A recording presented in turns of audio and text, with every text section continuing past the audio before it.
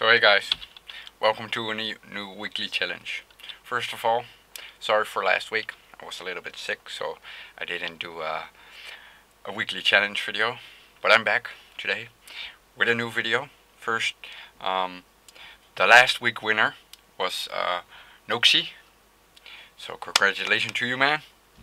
And this week's we we got a new version of the game and also got a new challenge.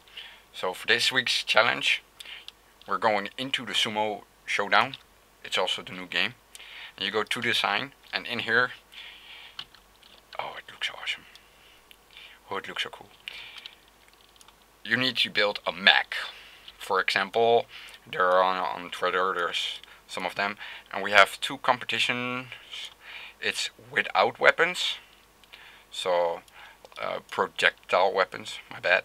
And with projectile weapons. Everybody is allowed to build um, two vehicles for every uh, competition. So you come out with four builds that you are allowed to enter. And uh, the winners uh, are going to be the, the one that's the strongest in his class. So per class we're going to have a winner. And also per class we're going to choose the um, overall best looking.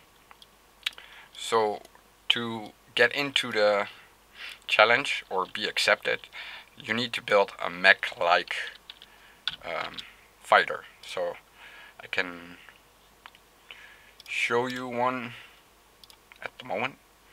Something like this.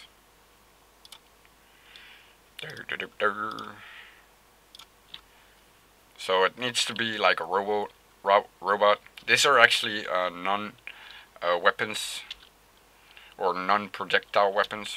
Kind of cool. I'm like controlling both of them. Okay, that's weird. Look at me, I'm dancing in a circle. And the points are, are gonna be from all the developers.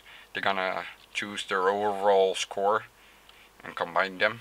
So, as always, you have till next Tuesday. So have fun with it. And as always, Neo out.